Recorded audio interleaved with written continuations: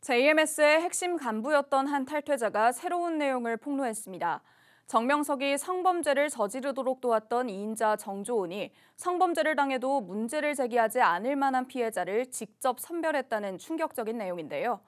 자신도 이 과정에 가담하긴 했지만 범죄에 연루된 것을 깨닫고 탈퇴를 결심하기까지 여러 협박과 회유가 있었다고도 털어놨습니다. 장세인 기자가 보도합니다.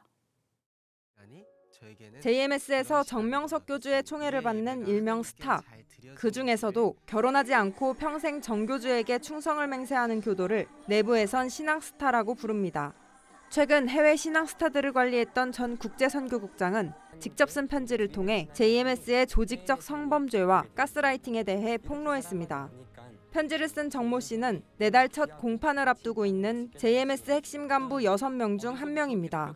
현재는 JMS를 탈퇴한 상태지만 활동 당시 해외의 여교도들이 JMS 교리에 따라 지내도록 관리하며 정명석 교주의 성범죄를 돕는 역할을 해왔습니다. 정 씨는 편지를 통해 JMS 2인자 정조은이 맡았던 JMS 교회에서 5, 6년간 직접 키운 여교도들 중 정명석에게 성범죄 피해를 당해도 문제를 제기하지 않을 만한 사람을 선별하는 모습을 직접 목격했다고 전했습니다. 그러면서 정명석의 해외 도피 생활 동안 정명석보다 정조은의 영향력이 더 컸다며 그런 정조은의 모습에 탈퇴를 결심했다고도 밝혔습니다.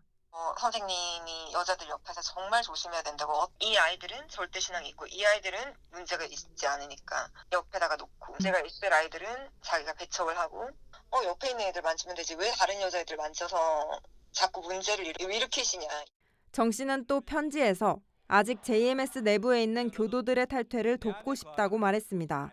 자신이 범죄에 연루된 것을 깨닫고 조직에서 벗어나려 할 때 조직 내 실패자로 낙인 찍힐 것에 대한 두려움을 이용해 협박, 회유, 저주로 가스라이팅을 해왔다고 전했습니다. 피해를 입히는 것에 더 나아가서 다른 사람들을 데려오게 만들고 이런 것에서 벗어나려고 할 때는 너가 하지 않으면 너의 가족들이 구원을 못 받는다. 이 하나님의 역사에 마치 제가 엄청난 피해를 주는 것처럼 죄책감이 들게 만들고 빠져나가지 못하게 하는 거죠. 정명석의 성폭행을 도운 준유사강간 혐의로 정조은 등 JMS 간부 6명의 첫 공판이 내달 9일 대전지방법원에서 열립니다. 정명석의 성범죄를 도왔던 간부들의 조직적 범죄가 잇따라 폭로되면서 가담자의 형량에 영향을 미칠지 주목됩니다. 또 이런 내부 고발이 교도들의 탈퇴로도 이어질지 이목이 집중되고 있습니다. 구티비 뉴스 장세인입니다.